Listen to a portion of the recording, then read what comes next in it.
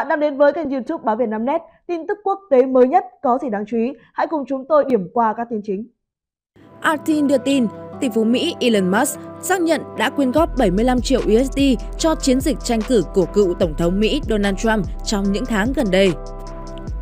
Được chính ông trùm công nghệ thành lập vào tháng 7, Ủy ban Hành động Chính trị Mỹ America PAC cho biết mục đích của tổ chức này là tăng cường tỷ lệ cử tri đi bỏ phiếu cho ứng cử viên của Đảng Cộng Hòa tại các tiểu bang chiến trường có sự cạnh tranh gay gắt, nơi có thể quyết định cuộc bầu cử Tổng thống Mỹ năm 2024 vào ngày 5 tháng 11 tới.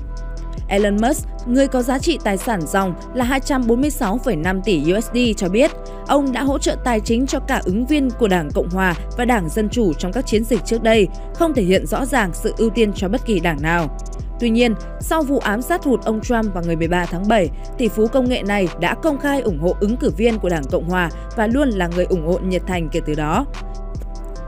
Trả lời bài đăng của một người dùng X khác, người lại viết rằng Elon Musk quyên góp gần 75 triệu USD cho American PAC. Giám đốc điều hành của SpaceX và Tesla đưa ra lời xác nhận chỉ bằng một từ hôm 16 tháng 10. Cùng ngày trước đó, Reuters và Bloomberg trích dẫn thông tin từ Ủy ban bầu cử liên bang cho hay Elon Musk đã quyên góp gần 75 triệu USD cho American PAC trong khoảng thời gian từ tháng 7 đến tháng 9. Theo Reuters, Ông trùm công nghệ là nhà tài trợ duy nhất của nhóm trong giai đoạn đó, nổi lên như một trong những nhà tài trợ hàng đầu của Đảng Cộng Hòa trên mọi phương diện. Trọng tâm chính của American PAC là tuyển những người vận động và đặt quảng cáo kỹ thuật số để thu hút những người ủng hộ ông Trump đi bỏ phiếu. Ngày 13 tháng 10, ứng cử viên của Đảng Cộng Hòa tuyên bố nếu được bầu, ông sẽ tạo ra một vị trí mới, Bộ trưởng cắt giảm chi phí, được thiết kế riêng cho Elon Musk. Ông Trump nói thêm rằng doanh nhân tuyệt vời Elon Musk đã bày tỏ mong muốn đảm nhận vai trò này.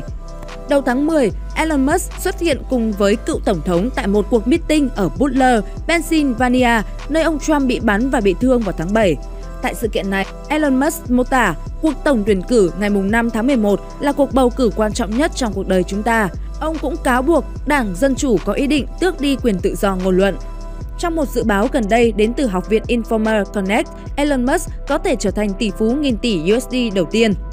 Tính tới 16 tháng 10, theo Forbes, Elon Musk có khối tài sản 246,8 tỷ USD, gấp khoảng 9 lần so với đầu năm 2020. Theo Forbes, tài sản Musk đến chủ yếu từ SpaceX. Elon Musk là người đồng sáng lập 7 công ty, bao gồm nhà sản xuất ô tô điện Tesla, nhà sản xuất tên lửa SpaceX và công ty khởi nghiệp trí tuệ nhân tạo XAI. Musk sở hữu khoảng 12% cổ phần của Tesla, chưa bao gồm quyền chọn. Tính tới 16 tháng 10, Tesla có vốn hóa 701 tỷ USD.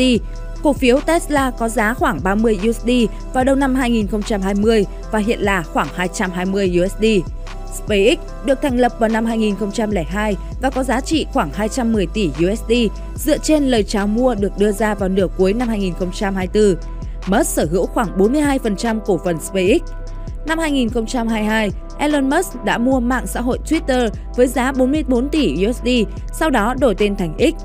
Musk sở hữu khoảng 60% XAI. Công ty này được thành lập vào năm 2023 và được định giá ở mức 24 tỷ USD. Với SpaceX, cho đến nay, NASA vẫn là khách hàng lớn nhất đối với Starship. NASA trả cho SpaceX 4 tỷ USD để phát triển hai tàu Starship và đã được cải tiến thành tàu đổ bộ lên mặt trăng có khả năng chở người cho chương trình Artemis, một chương trình có mục đích duy trì sự hiện diện của con người trên mặt trăng một cách lâu dài. Nhưng tham vọng của Musk và SpaceX là rất lớn, với mục đích là đưa con người lên sao hỏa vào một ngày nào đó và thực hiện ước mơ đưa con người định cư trên sao hỏa trong 50 đến 100 năm tới. Còn trước mắt, Starship có thể được sử dụng để liên tục phóng vệ tinh thương mại Starlink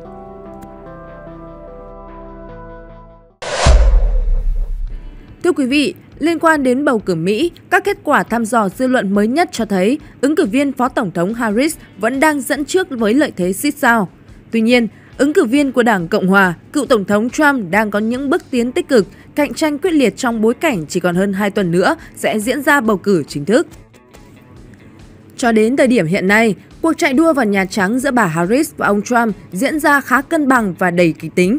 Trong các cuộc thăm dò mới nhất, đương kim Phó Tổng thống Harris vẫn đang dẫn trước đối thủ của mình, nhưng khoảng cách đang có xu hướng ngày càng thu hẹp lại. Theo kết quả thăm dò công bố hôm qua của Economist phối hợp với YouGov thực hiện, bà Harris tiếp tục dẫn trước với khoảng cách 4%. có 51% số người ủng hộ so với 47% ủng hộ ông Trump. Trong khi đó, khoảng 2% số cử tri đã đăng ký cho biết họ chưa quyết định bầu cho ai. Đối với nhóm cử tri độc lập, có 46% ủng hộ bà Harris, 42% ủng hộ ông Trump. Tuy nhiên, số người chưa quyết định lên đến 12%. Trong các cuộc thăm dò của Morning Consult, ABC, Epos, CNN, bà Harris tiếp tục dẫn trước với khoảng cách từ 2 đến 4%. Tuy nhiên, động lực chiến thắng của bà Harris dường như đang giảm sút khi tỷ lệ ủng hộ đang có xu hướng giảm dần so với các cuộc thăm dò trước đây. Trong khi đó, chiến dịch tranh cử của cựu Tổng thống Trump dường như đang dần ổn định và có các bước tiến đáng ghi nhận. Trong cuộc thăm dò của Fox News, công bố hôm qua, ông Trump đã lấy lại vị trí dẫn trước bà Harris sau khi để thua trong các cuộc thăm dò dư luận hồi tháng 9. Ngoài ra, ông Trump cũng đón nhận các tín hiệu tích cực khi tỷ lệ ủng hộ đối với bà Harris đang có xu hướng giảm dần và ở mức thấp nhất so với các ứng cử viên của Đảng Dân Chủ trước đây trong nhóm cử tri, ví dụ như người gốc Latin vốn được xem là căn cứ vững chắc của đảng này. Dự kiến, cuộc bầu cử sẽ được quyết định tại khoảng 7 bang chiến trường, thậm chí là hẹp hơn, chỉ khoảng 2 đến 3 bang, có thể là Wisconsin và Pennsylvania. Giới chuyên gia chính trị tại Mỹ cũng nhận định cuộc bầu cử năm nay được xem là cạnh tranh nhất khi đa số dự báo trong suốt chiến dịch tranh cử vẫn ở mức 50-50. Trước đó, tờ The Hill dẫn số liệu khảo sát được Đại học tự thục Quinnipiac công bố hôm 16 tháng 10 cho thấy tỷ lệ ủng hộ từ cử tri bang Georgia dành cho ông Donald Trump đang là 52%. Con số này ở ứng viên Dân Chủ Kamala Harris chỉ đạt 45%. Cũng theo khảo sát trên, ông Trump nắm sự ủng hộ nhiều hơn bà Harris 7% ở mảng cử tri độc lập, với tỷ lệ lần lượt là 49% so với 42%. Có 4% cử tri độc lập chưa quyết định bầu cho ai. Đối với các ứng viên là Stein và Oliver, mỗi người giành 2% tỷ lệ ủng hộ. Khi được hỏi liệu ai sẽ làm tốt hơn trong việc xử lý các vấn đề kinh tế, có 55% cử tri bang Georgia tham gia khảo sát nói rằng ông Trump làm tốt hơn, trong khi tỷ lệ này ở bà Harris là 43%. Với vấn đề nhập cư, 57% cử tri được hỏi nói ông Trump sẽ xử lý ổn thỏa hơn, trong khi có 41% cử tri lại ủng hộ bà Harris. Trong cuộc chạy đua vào Nhà Trắng năm nay, cựu Tổng thống Donald Trump đang thực hiện một chiến lược đặc biệt nhằm thu hút cử tri nam trẻ tuổi. Theo BBC, thay vì tận dụng các kênh truyền thông chính thống, ông Trump đã chọn cách xuất hiện trên một loạt postcard và phương tiện truyền thông thay thế có lượng khán giả chủ yếu là đàn ông ở độ tuổi thanh niên. Chiến dịch tranh cử của ông Trump từng xác định một nhóm cử tri chủ chốt chiếm hơn 10% tổng số cử tri ở các tiểu bang giao động. Nhóm này chủ yếu gồm nam giới trẻ tuổi da trắng, nhưng cũng có một tỷ lệ đáng kể người Mỹ gốc Latin và gốc Á. Chiến lược tiếp cận qua những postcard và phương tiện truyền thông phi chính thống được lập ra để thu hút chính xác nhóm cử tri trên. Cụ thể, ông Trump tham gia các cuộc phỏng vấn với những người có ảnh hưởng trên mạng xã hội, diễn viên hài và những người dẫn chương trình phát thanh. Một số cái tên nổi bật trong danh sách này gồm diễn viên hài Trevor, nhóm Now Boys, YouTuber Logan Paul và streamer Adin Ross. Dù những cái tên kể trên có thể xa lạ với giới truyền thông dòng chính, nhưng họ có lượng người theo dõi lên đến hàng triệu trên các nền tảng trực tuyến. Chẳng hạn, tính riêng trên YouTube, video cuộc phỏng vấn cựu Tổng thống Trump đến nay đã thu hút gần 14 triệu lượt xem. Các cuộc thăm dò gần đây cho thấy có sự chênh lệch đáng kể về giới tính giữa các cử tri trẻ về quan điểm chính trị. Theo cơ quan thăm dò giới trẻ của Đại học Harvard, Mỹ, trong khi 70% phụ nữ dưới 30 tuổi ủng hộ đối thủ của ông Trump là Phó Tổng thống Kamala Harris, chỉ có 53% nam giới trong cùng nhóm tuổi ủng hộ bà. Ngược lại, có 36% nam giới trẻ ủng hộ ông Trump, so với chỉ có 23% ở nữ giới trẻ. Daniel Koch, giám đốc Trung tâm Khảo sát về đời sống Mỹ cho rằng khoảng cách giới tính phản ánh một sự chia rẽ lớn hơn trong xã hội nước này, khi nhiều thanh niên cảm thấy bị các chính trị gia bỏ rơi. Ngày càng nhiều đàn ông trẻ cố gắng hiểu được vai trò của họ trong xã hội. Họ phải phấn đấu nhiều hơn về bằng cấp, gặp nhiều trở ngại hơn về sức khỏe tâm thần và thậm chí có sự gia tăng tỷ lệ tự tử, ông Cox cho hay. Đây là những mối lo rất thực tế, song có cảm giác rằng chưa một chính trị gia nào quan tâm đến chúng. Chính vì vậy, chiến lược mới của ông Trump hướng tới mục đích tạo ra một hình ảnh chính trị gia thân thiện và gần gũi hơn đối với tầng lớp cử tri này. Các cuộc phỏng vấn và postcard chính là dịp cựu Tổng thống 78 tuổi thể hiện tầm hiểu biết về những vấn đề phổ biến trong giới trẻ như thể thao và giải trí, thay vì bộc lộ những quan điểm chính trị gây tranh cãi. Nhiều người trẻ không muốn tìm hiểu những thông tin khô khan, ông Cox lưu ý thêm. Mối quan tâm hàng đầu của họ chỉ có thể là tiền điện tử hoặc trò chơi điện tử.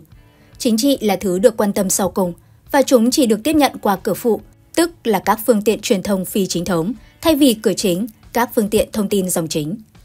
Chiến lược mới của cựu Tổng thống Trump có vẻ hiệu quả trong việc thu hút sự chú ý của cử tri trẻ là nam giới, nhất là so với cách tiếp cận tương tự từ Phó Tổng thống đương nhiệm Kamala Harris, đối thủ chính của ông trong cuộc đua vào Nhà Trắng. Bà Harris và Phó tướng Tim Walz thời gian qua cũng có nhiều nỗ lực trong việc thu hút sự ủng hộ từ cử tri nam, từ việc lồng ghép một số vấn đề gây hứng thú cho phái mạnh như súng đạn, thể thao, trò chơi điện tử, đến trực tiếp tham dự các trận đấu bóng bầu dục hoặc một số buổi đi săn ngoài trời. Tuy nhiên, sự ủng hộ của nam giới dành cho bà Harris vẫn dưới ông Trump một khoảng cách khá xa. Theo thăm dò mới nhất của Trung tâm Nghiên cứu Pew, Phó Tổng thống của Đảng Dân Chủ chỉ nhận được khoảng 43% tỷ lệ ủng hộ của cử tri nam so với 51% dành cho cựu Tổng thống của Đảng Cộng Hòa. Dù vậy, cách tiếp cận mới mẻ của ông Trump không phải không có thách thức. Một trong những thách thức lớn nhất là làm thế nào để chuyển sự quan tâm này thành phiếu bầu thực sự. Một số chuyên gia đặt câu hỏi liệu ông Trump có thể mở rộng số người bỏ phiếu cho mình trong các thành phần cử tri nam giới, từ lâu được xem là lực lượng ủng hộ nòng cốt của cựu Tổng thống Mỹ hay không. Theo giáo sư truyền thông Jack Bratis từ Đại học Rutgers, Mỹ, lực lượng nam giới trẻ hoạt động tích cực trên không gian mạng từng đóng góp rất nhiệt thành cho chiến thắng của ông Trump trong cuộc bầu cử tổng thống năm 2016. Đó là thời điểm bùng nổ trào lưu chế hình meme về chính trị cùng các diễn đàn thảo luận chính trị xã hội. Nhưng tình hình đã rất khác sau 8 năm khi hiện tại chưa có phong trào chính trị trực tuyến nào của các nam thanh niên cánh hữu đủ lớn để tác động mạnh mẽ đến kết quả cuộc bầu cử tổng thống năm nay. Tuy nhiên, giáo sư Pratik cho rằng chiến lược của Trump thành công hay thất bại phụ thuộc vào sự xuất hiện của lượng đàn ông trẻ ít quan tâm đến chính trị tại các điểm bỏ phiếu trong ngày bầu cử. Và giống như nhiều hoạt động khác trong cuộc đua vào Nhà Trắng năm nay, kịch bản đến từ các cử tri trẻ tuổi này bao giờ cũng chứa đựng những yếu tố bất ngờ.